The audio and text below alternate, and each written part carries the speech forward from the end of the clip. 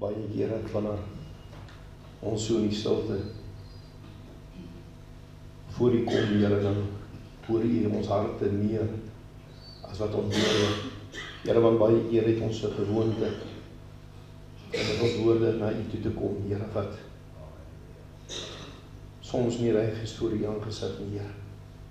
Maar dit is wanneer ons in ons hart bid. Dis wanneer die Heilige Gees kom en ons help. Wat ons werklik die ware ons na U toe kan optel. En wat U deur ons sien, Here, tot in die kleinste haar greep.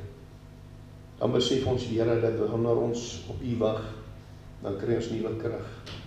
Dan sien ons ook so Stefanus van ouds waar hy in die hemel is aan die regterhand van God die Vader en hoe hy vir ons intree.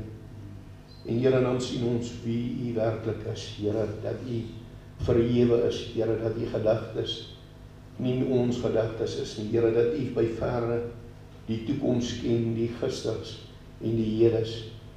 Dat U oog wakker is, Here, dat U alles sien, dat daar niks is wat ons vir U kan verwerk nie, Here. Dan merk ons op, Here, dat daar niemand, maar niemand soos U is nie.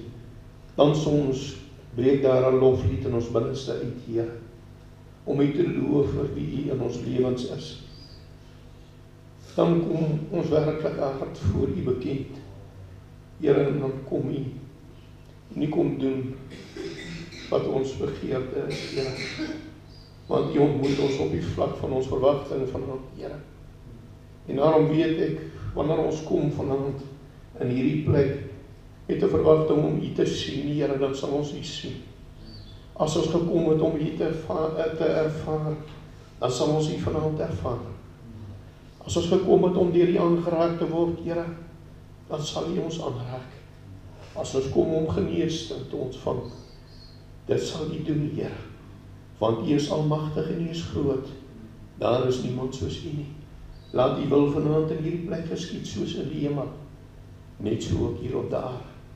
Ons dank U daarvoor vir hierdie geleentheid om seën die woord vanaand en die harte wat voorberei is in Jesus naam. Amen. Ons neem ons sit plek.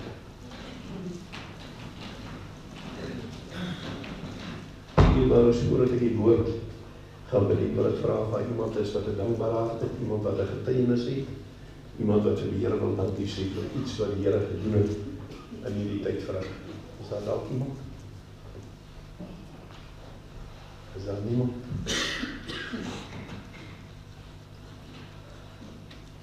Wanneer ons manne so Saterdagoggende bymekaar kom, dan is dit een van die punte en dit is voordat ons huis toe gaan. Ons praat so oor die manne goed. Maar dan maak ons tyd daarvoor om te vertel wat die Here in ons lewe doen. En ek weet nie of dit altyd uitkom hier binne die gemeente of daar altyd mense opstaan om te vertel terwyl daar 'n uitnodiging is. So ek wil laat daai geleentheid verbygaan om aan die Here die eer te gee nie want ek glo dit is die rede waarom ons hier bymekaar is om die Here te dien. En deel van dienswerk is om aan die Here te offer lof. Hy sê wanneer ons bymekaar kom dan elkeen van julle of 'n loflied.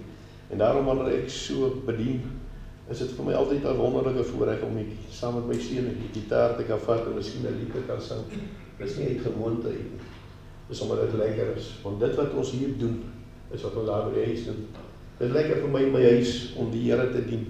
Dis ons lese.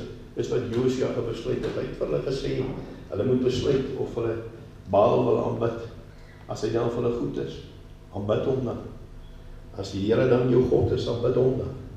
Maar ons moet wees 'n man van die paai is twee en ons sing dit ook saam. Ek wil graag vanaand 'n woord bedien en verskoon my stem wat maar 'n bietjie skurf en afgestomp is. Ek het so rukkie terug het ek uit hierdie selfe gedeelte het ek 'n woord bedien. En julle sal onthou dat ek dink die tema wat ek die dag gesê het is waar Jesus vir Simon die malaatse die fariseer by wie aan huis was waar die vrou gekom het en hom gesuig voete gesalf het met hulle trane en afgedroog het en sy voete gesoen het en met narde salf die kosbare salf toe die Here by die geleentheid het hy Simon se hart raak gesien Want Simon het by homself gesê as die Here weet wat se vrou hom aanraak dan sou hy dit nooit toegelaat het as hy 'n profeet was. En op grond van dit wat hy onderskei, is opgeskryf in Johannes 7. Ons gaan nou nou lees. Op grond daarvan, op grond van dit wat Simon sien, sê sien die Here Simon se hart reg. Want hy onderskei verkeerd. Want hy sien uiterlik, maar God sien binnekant.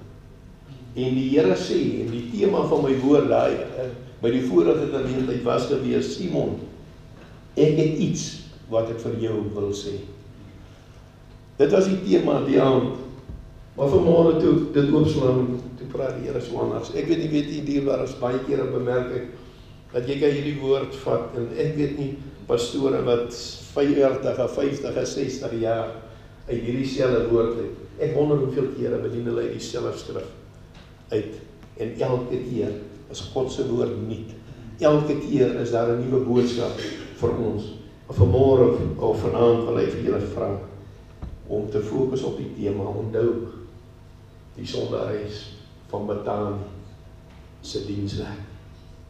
Onthou hierdie sondareis van Betani. Sy het nie 'n naam gehad nie. Die Bybel sê nie vir ons wie was sy nie. Die Bybel beskryf haar ook nie. Maar God se oë kosbaar. En ek wil graag vir julle vanaand iets bring. Iets wys wat ek ook nie geweet het nie. En baie keer kom 'n mens dan lees jy iets weer aan wat jy vir baie baie jare gelees oor en oor, maar jy merk dit nie op. Hoekom was dit vir die Here werklik so kosbaar? Hierdie vrou se dienswerk. Daai albei basse vlees. Baie mense sal kom en en sal sê dat miskien was dit gewees oor die duurprys van hierdie nardesalf want hulle sê dit was verskriklik baie geld in vandag se tyd. Onbekostigbaar. Maar iets sê die Heilige Gees is anders. Iets anders wat ons moet hoor vanaand. Kom ons lees net hierdie stuk saam. Lukas 7 vanaf vers 36. En een van die fariseërs het hom genooi om by hom te eet. En hy het in die huis van die fariseer gekom en aan tafel gegaan.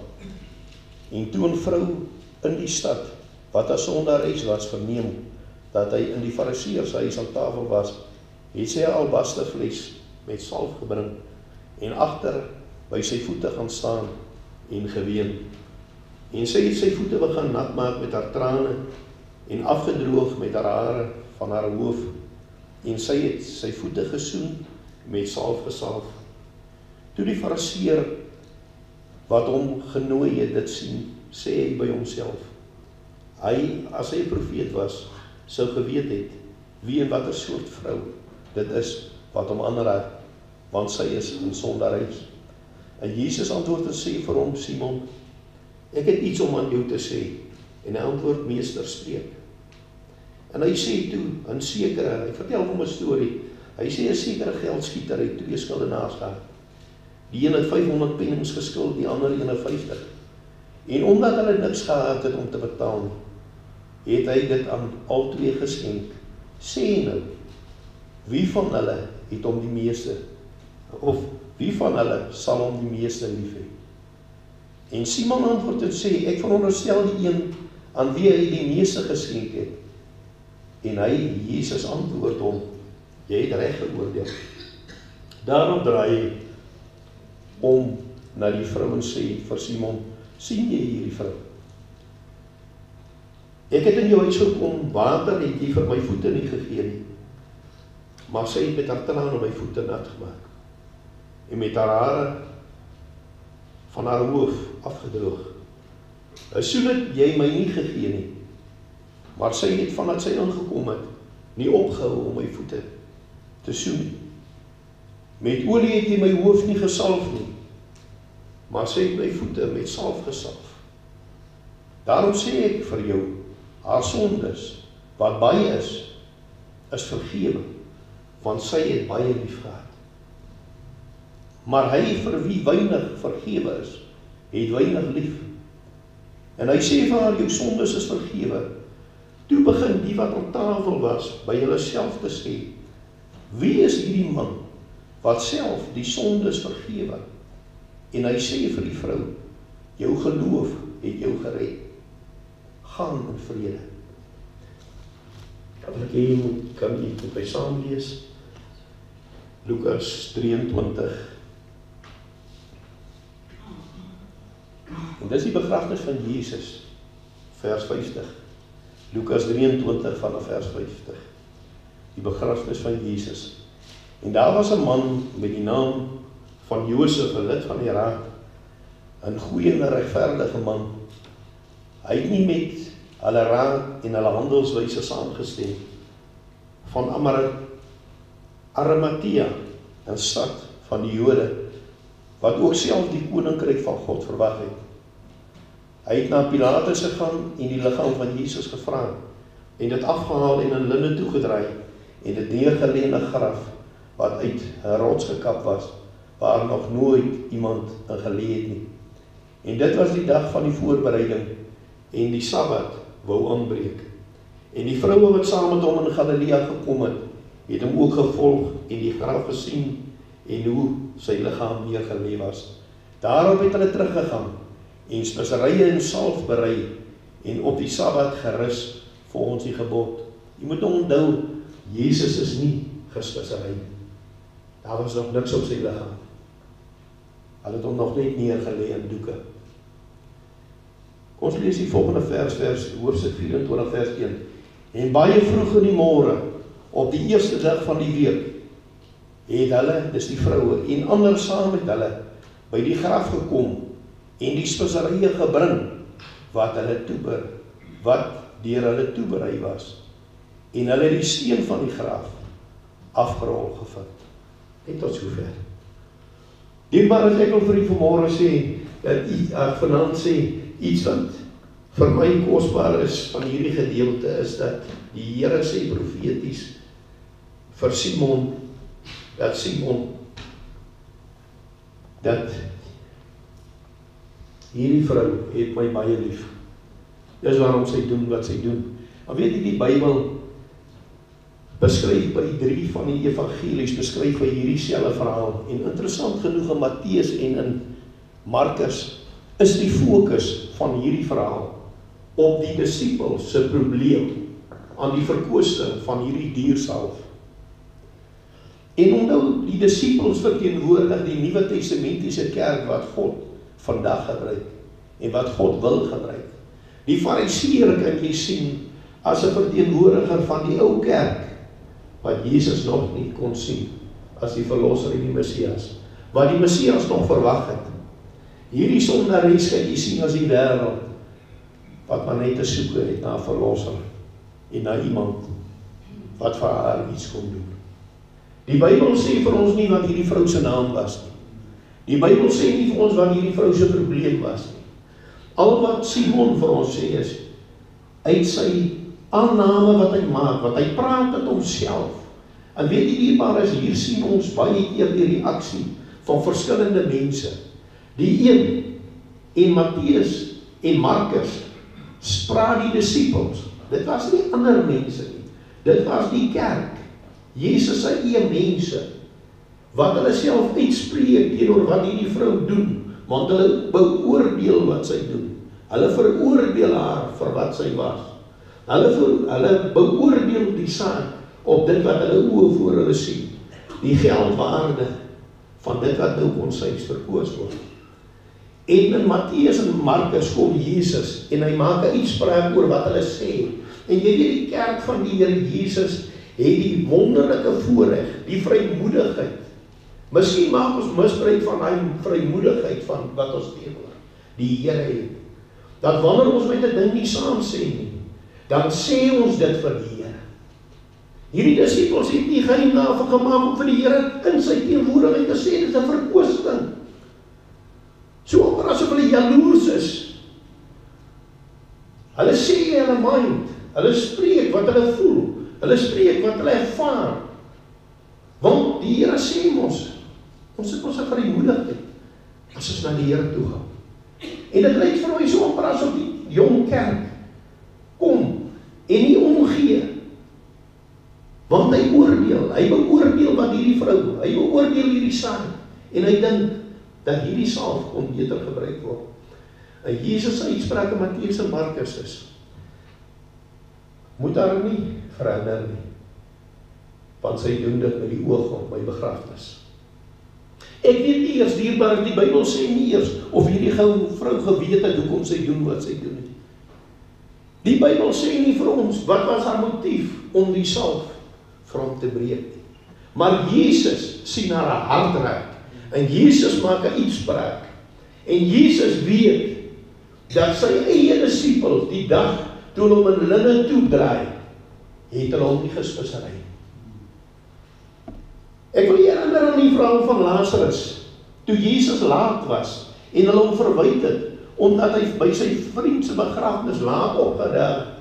En Martha Maria kom en sê toe Jesus nog by die deur inkom, toe begin hulle hom aanval en hulle sê die Here, as u nie hier gewees het, sou hy nie gesterf het nie. Heel eers spreek die kerk. Spreek sy gedagte. Spreek sy hoe hy voel. Spreek hoe hy sê, want dis hulle Jesus. Dis hulle vriend. Dis hulle God. En baie keer gaan ons na God toe en ons praat so met hom. En ons onderskei uit wat ek sê, oor hoe ek voel. En ek vertel vir hom wat in my hart omgaan. En Jesus help hom reg. Hy sê want hy sien vooruit dat daar kom 'n tyd wat hulle nie tyd gaan hê nie. Hulle het gedink die maandag of die sonndagmôre sal hulle gaan en hulle sal bring wat hulle vir hom wou bring. Dit was te laat. Want hy het opgestaan. En baie keer in ons lewe dierbaar is. Neem ons ons ons voor dat môreoggend gaan ek so maak. En oormôre gaan ek so maak. En Vrydagmôre sal ek so maak. Maar die Here sê as die Here nie so wil nie dierbaar is, weet jy nie of jy môreoggend sal opstaan uit jou bed nie. Hierdie afgelope week tel ek 'n griep op. En dis hoekom my stem so lyk. En weet jy wie wat ons by dit so swaar kry rondom hierdie sin? En dit is 'n eenvoudige griep. Weet jy hoeveel mense verloor hulle lewe as gevolg daarvan? Klein goedjies, mense wat gedink het ons sal 'n paar pilletjies drink en hy gaan reg wees. Maar hulle staan by oop graf. 2 en 3 dae later. Omdat God ken ons tyd en hy ken die toekoms en hy sien nie soos wat jy sien. En dierbare daarom nie ou pastore van ouds by hierdie Sondag aand dienste, die ou evangelie diens, want dit is wat dit was. Dit was die bekeringsdienste. Dit was die tye waarin die uitnodigings gemaak was vir mense om 'n harte te gee. Iets wat skaars geword het vandag. Want as daar nie 'n uitnodiging gegee word nie, dan sal iemand nie opstaan en kom om sy hart of sy lewe met die Here reg te maak nie. Maar weet jy hier waar is iets wat ek by hierdie vrou sien? As ek sien sy kom. Sy gee nie om dat sy nie genooi was nie. Sy gee nie om wat haar posisie was nie. Ons weet nie wat haar motief was nie. Maar sy kom en sy voel gelei want sonde lei 'n mens na die oplossing toe. Sonde bring jou op 'n plek in jou lewe waar jy besef jy het hulp nodig. Die woord van die Here kom en hy sê vir my dat toe Jesus gebore word, toe sê die engele vir die herders daar van Bethlehem, ek het vir julle goeie nuus. Vandag is vir julle gebore Christus, die verlosser, want dis wat sy naam beteken. Die engele kom en hulle vertel toe vir Josef, die pa of Jesus se grootma pa dan by Maria. En hulle kom en hulle sê vir hom Josef, jy moet hom Jesus noem, want dis hy wat sy volk van hulle sonde sal verlos. Dierbaar as ek wil vir jou sê dat dat sonde bring jou op 'n plek. Jy kom in jou lewe op 'n plek. Jy gaan aan op op die manier waarop jy aangaan totdat jy op 'n plek kom waar jy besef dat jy moet by Jesus uitkom. Ek wil vir jou sê jy sal alles probeer. Jy sal al jou geld uitgee. Jy sal al jou moontlikhede opgebruik. Maar ek wil vir jou sê daar breek 'n dag aan wanneer net Jesus vir jou kan help. En ek wil jou sê hierdie vrou, ek weet nie of sy gehoor het by die vroutjie wat aan bloedvloeiing gelei het. laat 'n mens grense moet oorsteek nie. Ek weet nie of jy by ander by die blindes gehoor het dat jy moet harder roep wanneer ander jou stil maak. Ek weet nie of sy gehoor het by die ou vroukie van Naim toe haar seun dood lê en Jesus kom en toe hy sien hierdie ma wat sonder 'n kind is, alleen wat oorbly in hierdie lewe en sy het nie versorging nie. Kom Jesus, hy raak eers die liggaam aan nie. Hy raak net die ou draagbaar aan en hy sê vir hierdie seun op. Ek wil vir u sê dierbaar is maar die woord van die Here sê toe hy hierdie vroutjie sien. Toe kry hy haar jammer. Hy het haar innig jammer gekry. Weet jy dierbaar is ek weet nie of jy al opgemerk het die Bybel praat net van twee geleenthede wat die Here ooit gehuil het. Van die Bybel van praat. Ek sê nie die kere wat miskien hier opgeskryf is. Ons weet nie wat hy alleen was nie.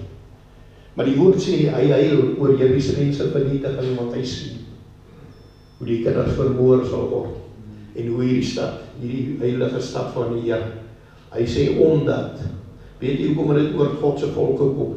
Omdat hulle die gunstige tyd toe die Here hulle besoek het, nie opgemerk het nie.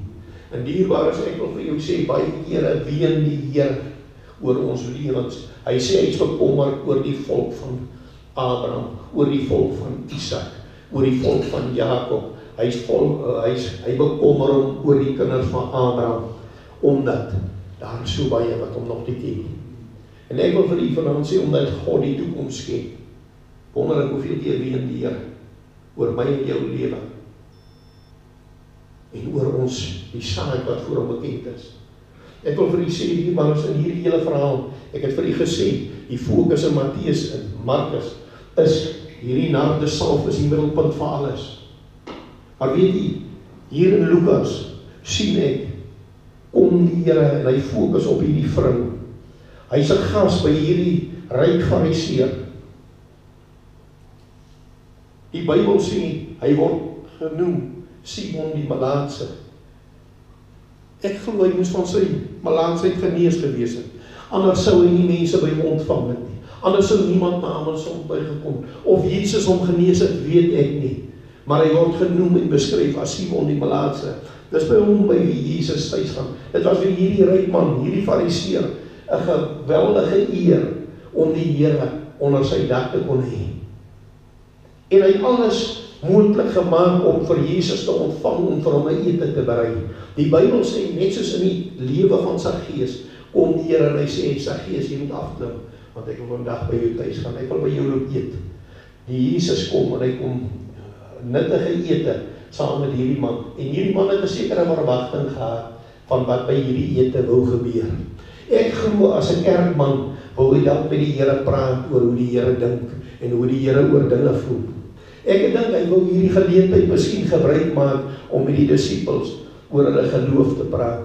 Hy het ook 'n behoefte gehad, dis hoekom hy die Here gehad het, maar baie keer het ons gesien dat die fariseërs dinge gedoen het met 'n bymotief om hom uit te lok om dinge teen hom te kry, om hom dood te maak, om hom uit te verkoop, om hom reg te stel, om hom in die tronk te beland om hom te kruisig. Maar terwyl hy geglo het dat hy die middelpunt sou wees, kom hier 'n vroutjie. Weet jy die Bybel sê sy kom en sy kom staan agter hom. En sy begin maar net weet. Die Bybel sê nie vir ons een keer dat sy vir hom vertel, Here, hoekom is hy daar. Die Bybel sê nie vir my een keer dat sy vir hom vra om sy voete te was nie. Die Bybel sê nie een keer dat sy vir hom sê, Hoekom is hy daar? Maar toe sy by sy voete uitkom, toe weer die Here vir haar tyd. Toe sy aandag 100% op hierdie vrou. En hy sien haar hart. Hy sien haar hart. Hy sien meer as wat sy in woorde uitdruk. En hy sien haar sonde las. Maar die eerste woord wat hy vir gee, is die vrou jou sonde is vergewe. Hierdie vrou het 'n probleem gehad met 'n sonde in haar lewe. Waarvan sy nie kon loskom probleem. Ek wil vir u sê Die Bybel sê nie sy was siek nie. Ek wil vir julle sê daar hoeveel mense in die Bybel 38 jaar 12 jaar met siekte geloop kon na vanaf die loskool. Die Bybel sê nie dat hierdie vrou siek was. Die Bybel sê sy het 'n sondeprobleem gehad. Die waar sê wil vir julle sê sonde kan soms swaarder wees as 'n siekte in jou liggaam. Sonde maak nie net jou liggaam dood nie. Hy maak jou gees dood. Sonde maak jou mens wees dood. Sonde maak jou liefde vir die Here dood. Sonde laat jou na mense verkeerd kyk. Sonde laat vir jou bring op 'n plek waar jy op jou voete nie meer kan staan nie. En waar die Here die enigste is. Want daar is niemand vanaand wat vir jou my van ons sonde af kan loskry.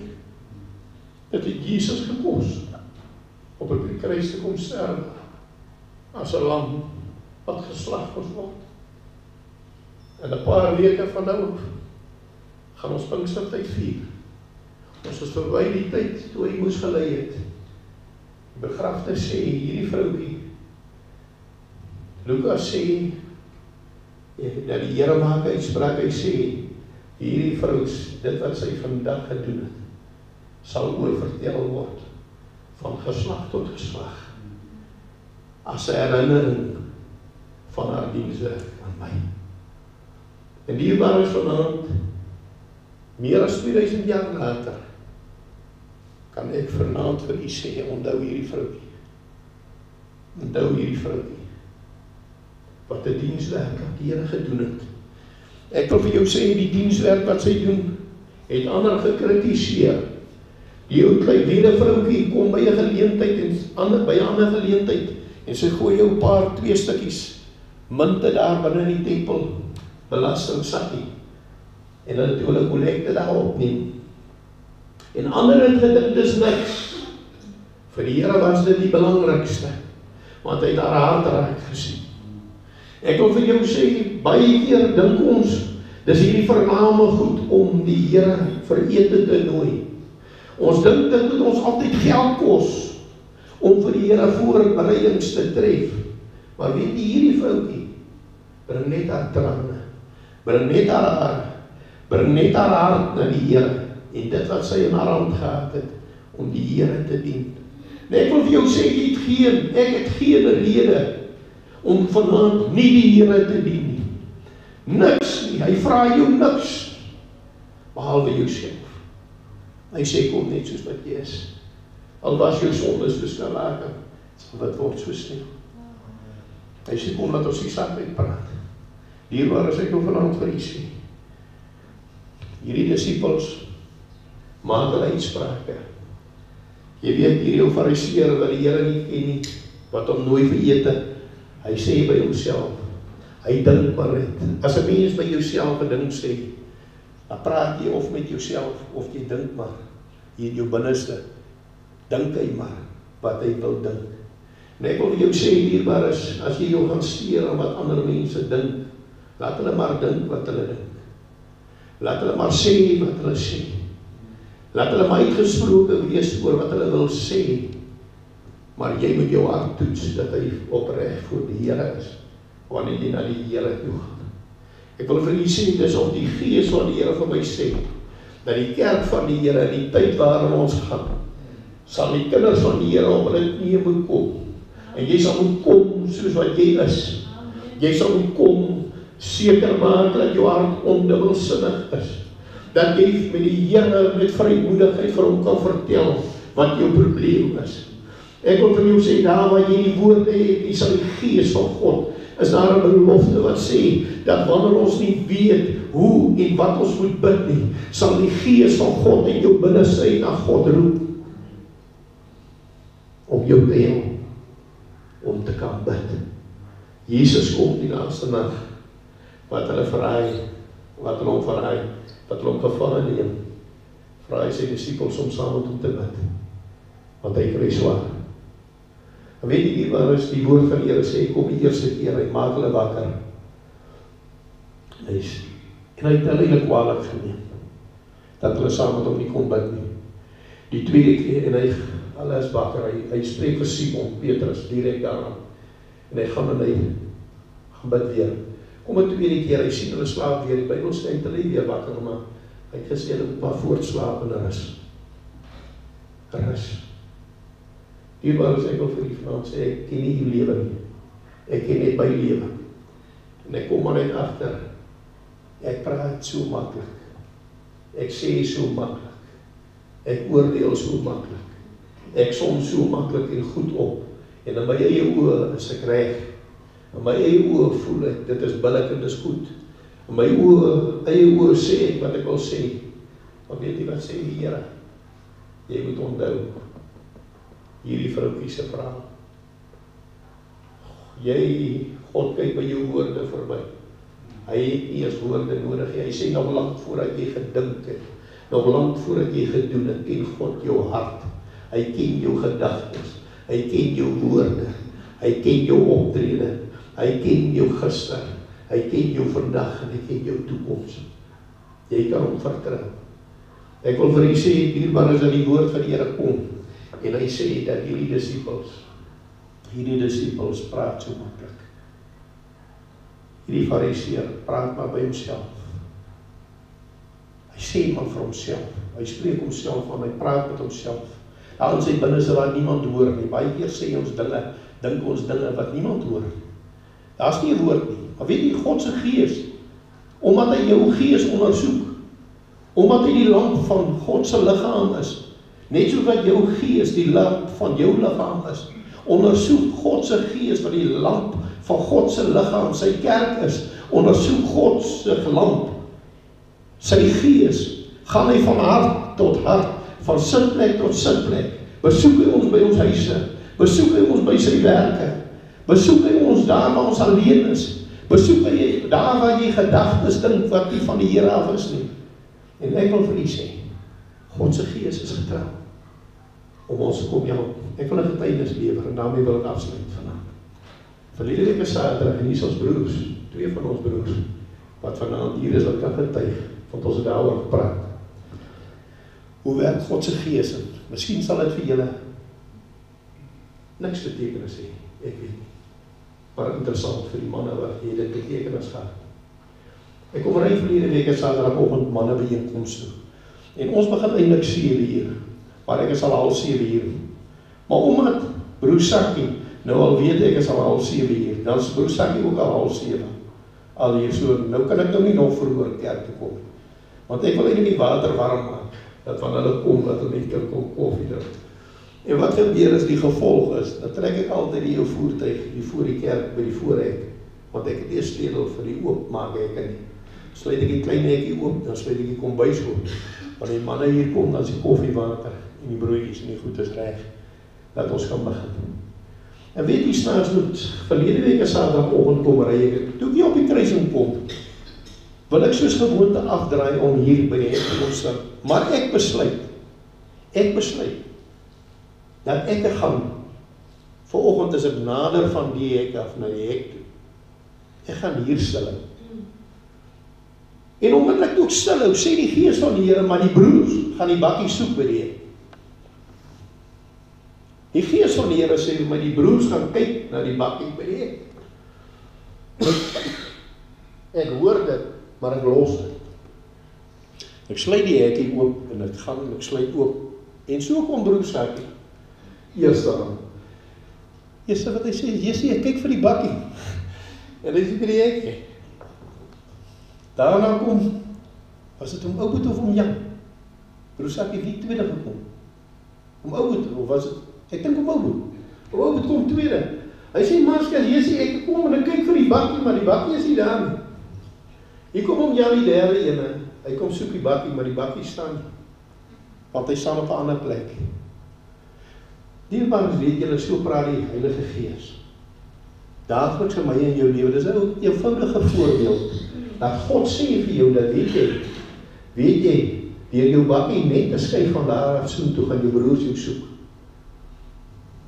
So so subtiel werk die Heilige Gees. Dis vir hom belangrik. Maar ons luister nie.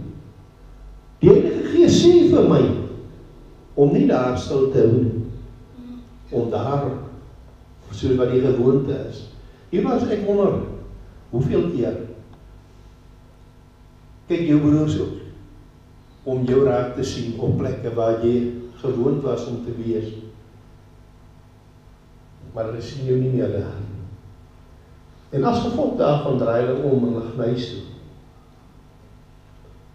Want jou sitplek is leeg. Jou staanplek is leeg. Jou loopplekke het leeg geword. Of jy vanaand vra. Hoe lyk jou liefde vir die Here? Onthou hierdie vroutjie se verhaal, die Here toe hy tussen Simon met al hierdie mooi etes wat hy vir hom berei het.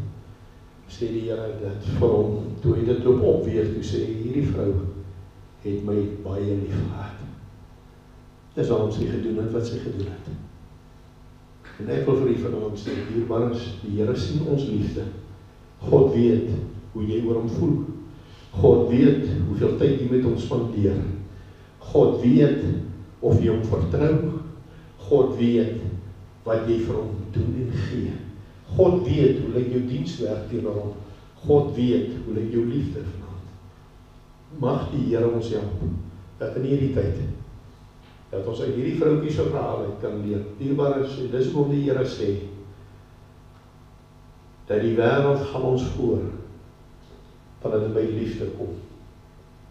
Want deur hulle werke toon hulle werke dat hulle God liefhet sonder dat hulle ooit in die kerk kom sien ons in hulle lewe as ons na hulle kyk dat hulle die Here liefhet en ek wil vanaand bid en vra dat Here ons sal help om werklik in hierdie tyd ons harte te ondersoek en as die gees van die Here sal vra ons gereed te kry want ek glo hy ons van die Here nie meer ver is.